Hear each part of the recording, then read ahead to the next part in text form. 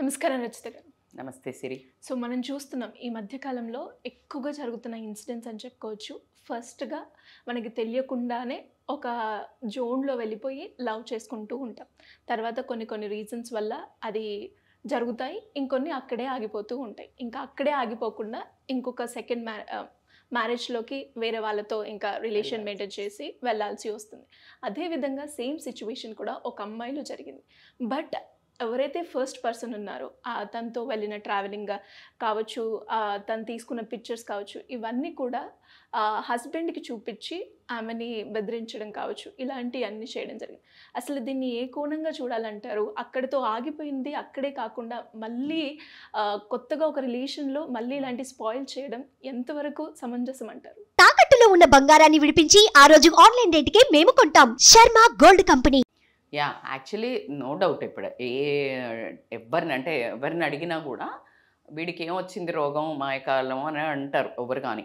ఎందుకు అంటే C why నేను ఈ టాపిక్ విన్నాను నిన్న. విన్నప్పుడు నేను కూడా వెంటనే రియాక్ట్ అయ్యి మాట్లాడాలనుకున్నది ఎందుకు అంటే రెస్పాన్స్గా ఐ ఫెల్ట్ రెస్పాన్సిబుల్ అసలు ఏమవుతుంది? ఫ్యూచర్ ఈ ప్రేమ అని టక్కున ప్రేమించేస్తున్నారు. బట్ ఇలాంటి వాడు ఎలాంటి దౌర్భాగ్యుడో తెలియదు నువ్వు ప్రేమించేవాడు అనే టాపిక్ గురించి మనం ఎన్హాన్స్ చేయడం కోసం మాట్లాడడం జరుగుతుంది. సో కమింగ్ టు ద ఈ టాపిక్ చాలామంది అంటే ఇదివరకు కొంచెం శాతం తక్కువ ఉండేది సిరి. అంటే అబ్బాయిలు వెంటపడ్డా కానీ ఓకే చెప్పాలంటే ఒక రకమైన భయం ఉండేది.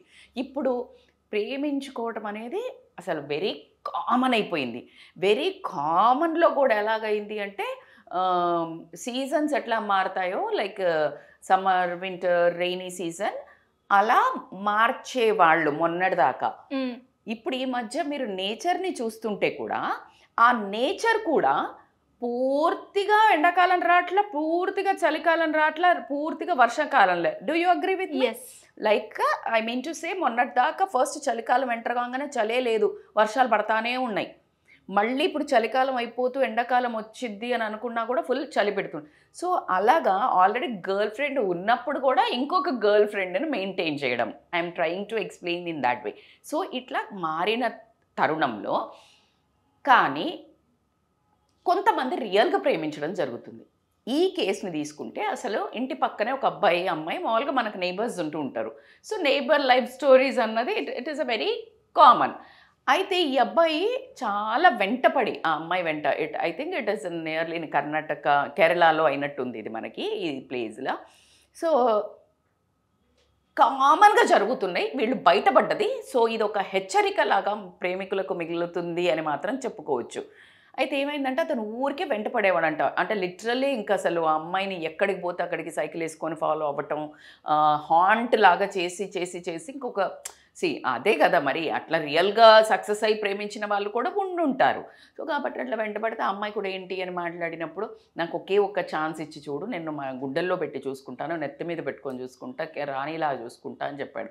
ఆబ్వియస్లీ అమ్మాయికి ఏమనిపిస్తుంది? ఎవరో తనని ఇంత బాగా ప్రేమిస్తున్నారు అని అంటే అనేది. అందుకే ఎక్కడి వరకు ఆ కల్లిబొల్లి మాటలకు అలాంటి బట్టరింగ్ మాటలకు ఎక్కడి వరకు పడాలి అనేది ఆ వర్డ్ వినంగానే మనము ఎలా స్పెల్ బౌండ్ అయిపోయి అట్లా పడిపోతాము అనడానికి ఇది ఒక నిదర్శనం. సో ఆ అమ్మాయి కూడా పాపం ఒప్పు ఇంట్రెస్ట్ చూపించి ఆరేళ్ళు ప్రేమ సిరి.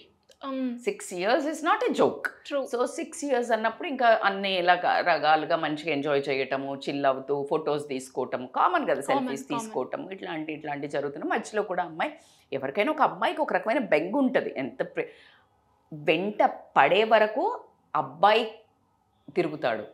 వెంట పడ్డ తర్వాత అమ్మాయి ఒప్పుకున్న తర్వాత అమ్మాయి వీక్ అవుతుంది. దట్స్ హౌ కామన్ లాజిక్ ఇది నాకు నాకు తెలిసి అందరూ సమ్మతిస్తారు దీంతో. సో కాబట్టి ఆ అమ్మాయి ఇంకా ఫుల్ ప్రేమలో రియల్గా ప్రేమించడం స్టార్ట్ చేసింది. చేసిన తర్వాత అబ్బాయిని మాటి మాటికి ప్రే బై పెళ్ళి చేసుకుంటాం కదా అనేదన్న టాపిక్ వస్తుంది కదా. ఇప్పుడే పెళ్ళి ఏంటి నేను ఒక ఉద్యోగం మంచిగా సంపాదించాక చేసుకుందాము అని అలా తోసిపుచ్చుతూ ఉన్నారు. They are like continuing the relation అలా జరుగుతున్నప్పుడు మంచి జాబ్ రానే వచ్చింది. అబ్బాయికి మంచి ప్యాకేజ్ మంచి జాబ్. రాగానే ఇంక ఈ అమ్మాయి వెంటనే అడిగితే అప్పుడు పిచ్చా నీకేమన్నా? నాకు ఇంత మంచి జాబ్ ఉంది. నాకు చాలా మంచి రిలే వస్తాయి సంబంధాలు. నేను నిన్ను చేసుకోవడం ఏంటి? అని చెప్పేసి మొహం మీద చెప్పేస్తాడు. ఆ అమ్మాయి షాక్లోకి వెళ్ళిపోయి కాళ్ళు పట్టుకొని బతిలాడుతుంది. ప్రేమించేదాకా ఎవరు కాళ్ళు పట్టుకొని బతిలాడతారు? ఆబ్వియస్గా so this is one thing like girls should understand అందుకే పూర్తి తరహాల సబ్మిట్ అవ్వకూడదు.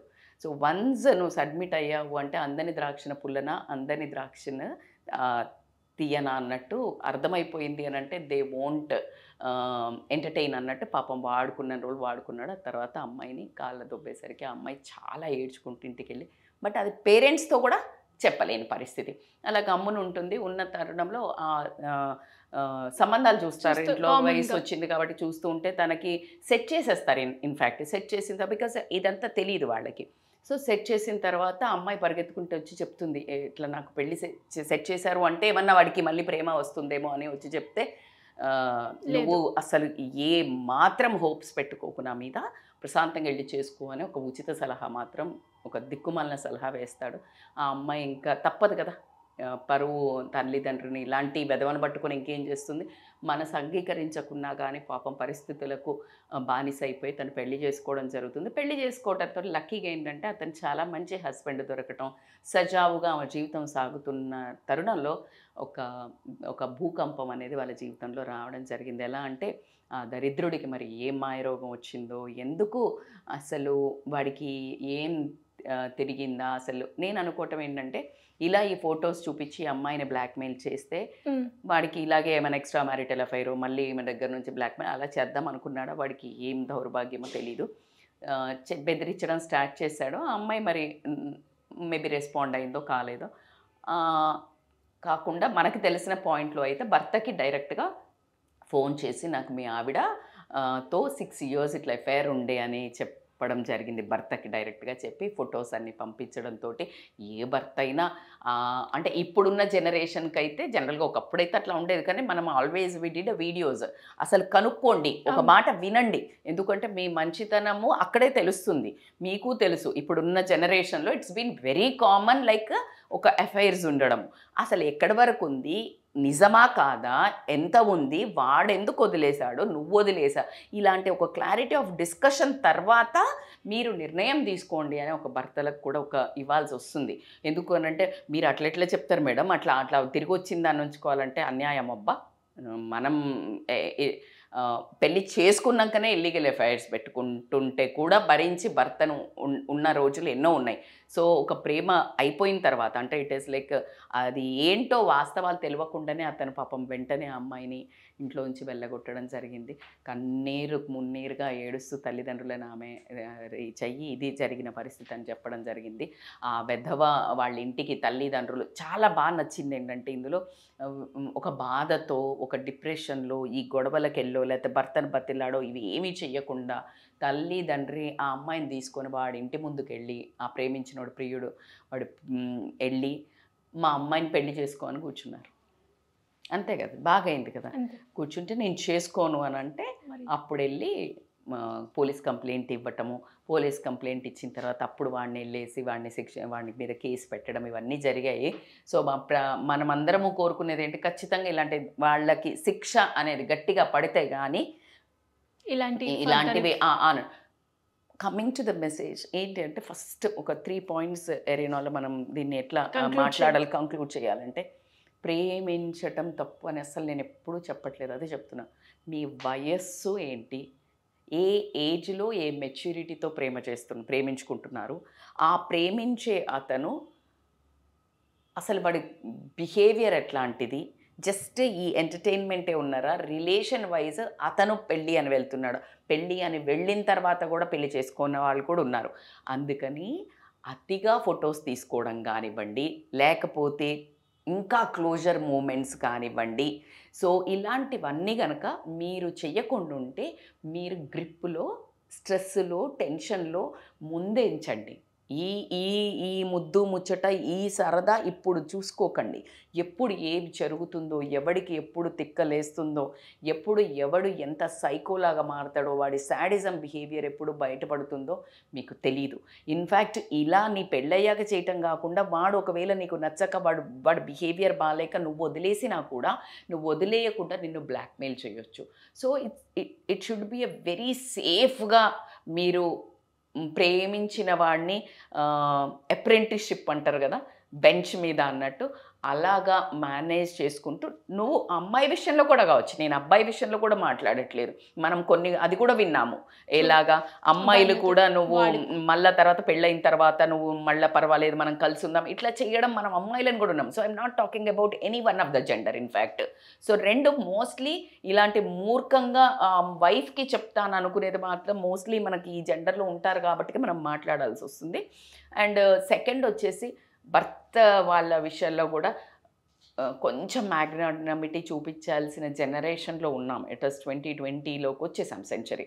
So what we have to do is నిజమా కాదా?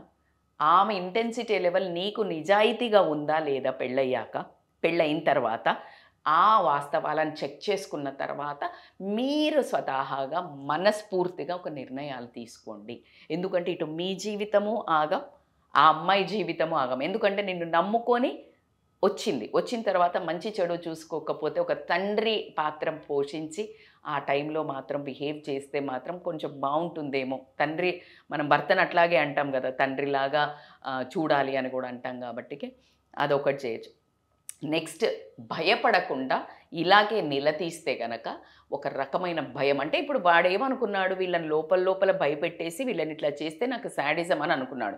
బట్ ఇప్పుడు వాడికి ఉద్యోగం థ్రెట్ కానివ్వండి అతని మీద కేసులు కానివ్వండి అతను ఒక రెప్యుటేషన్ కూడా పోయింది. So this is a big wide range of థింగ్స్లో ఏంది అని అంటే ఎగ్జాంపుల్ అండ్ ఎండ్ కంక్లూడ్ ఏంటంటే అబ్బాయిలకి ఇది ఏ రకంగా కూడా ఒక మనిషిగా కూడా మిమ్మల్ని గుర్తించుకోలేని పరిస్థితి. మీకు మీకు వద్దు అని వదిలేసినప్పుడు లేదు ఆ అమ్మాయి వదిలేసి వెళ్ళినా మీరు వద్దు అని బికాస్ ఆఫ్ మీ నేచర్ బాగాలేకపోతేనే వదిలేసి వెళ్ళుంటుంది.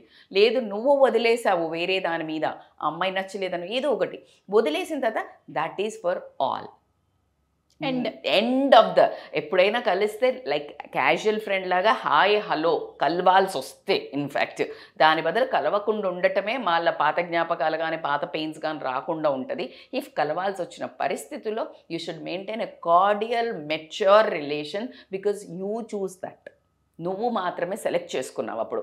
ఈ రకమైన ఒక మృగాల బిహేవియర్ దిస్ ఈస్ అంటే literally a psycho behaviour sadism అనే చెప్పొచ్చు. దానివల్ల ఆ అమ్మాయి జీవితం సర్వనాశనం అయింది చేశాను అని నువ్వు సంతసించకుండా నీ జీవితం కూడా నాశనం అయిపోతుంది కాబట్టి ఇలాంటి వైపరీత్యాలకు దిగకుండా మంచి మాన్ మనుషుల్లాగా ముందుకు వెళ్తే మాత్రం మీ రేపు మీ ఫ్యూచరు మీ ఫ్యామిలీ రేపు నీకు పెళ్ళవుతుంది నీకు పిల్లలు వస్తారు సో ఇది నీ రెప్యుటేషన్ అంటే నీ లైఫ్ ఏంటి? నీ వాళ్ళది అనుకున్నావు. ఎప్పుడు కానీ బురద ఏదైనా ఒక ఒక వెళ్ళి నువ్వు ఇప్పుడు ఫర్ ఎగ్జాంపుల్ ఇది ఇది ఒక పెద్ద సమస్య. ఇలాంటి ఒక పెళ్ళి అనే దాంట్లో వెళ్ళి ఇలాంటి పని చేయటం అనేది ఇట్స్ పెద్ద సమస్య. దాని మీద నువ్వు వేస్తే ఏమైంది? నీ మీద కూడా వచ్చే పడుతుంది. సో కాబట్టి బిహేవ్ ప్రాపర్లీ ట్రూ సొసైటీకి బాధ్యతాయుతంగా మనుషుల్లాగా ప్రవర్తించండి. మనం ఎత్తింది మనుష్య జన్మ. అంతేగాని రాక్షస జన్మను ఒక శాడిజంగా అట్లా బిహేవ్ చేయకుండా ఉంటే ఎవరికైనా మంచిది. ఖచ్చితంగా. ఇలాంటి మనం తరచుగా చూస్తూ ఉంటాం. కానీ ఇక్కడితో అన్న ఇవి స్టాప్ అయితే ఫర్దర్గా వాళ్ళ రిలేషన్ అనేది కూడా చాలా బాగుంటుంది. కరెక్ట్ సో ఇలా ఎవరైనా కూడా ఇలా ఇల్లీగల్గా కావచ్చు లీగల్ పరంగా కావచ్చు వాళ్ళకి ఎలాంటి అఫైర్స్ ఉన్నా కూడా వాళ్ళు కావచ్చు ఫ్యామిలీ పరంగా ఎలాంటి కౌన్సిలింగ్ అవసరం ఉన్నా మిమ్మల్ని అప్రోచ్ అయ్యే ఛాన్స్ ఉందంటారా? యా తప్పకుండా సిరి. లైక్ మనకి లాస్ట్ ఒక అమ్మాయి వచ్చిందని చెప్పాము ఆల్రెడీ ఆ అమ్మాయిని ప్రేమించి అమ్మాయితో ఉంటూ లివింగ్లో ఇంకొక అమ్మాయిని కూడా ప్రేమించడం. జరిగింది ఎఫ్ఐఆర్ పెట్టుకోవడం జరిగింది. So she was like almost broke down so అవసరం లేదు. అసలు అవసరమే లేదు అలాంటి చెత్త. సో ఆ అమ్మాయికి like she was about to suicide so అట్లాంటప్పుడు మనకు counselling is always helpful friends ఫ్యామిలీకి చెప్పుకోలేని సమస్యలకు ఖచ్చితంగా they need to approach counsellor and online or offline consultation for any kind of relationship issues self doubt stress depression anything they can contact thank you అండి thank you so much thank you so much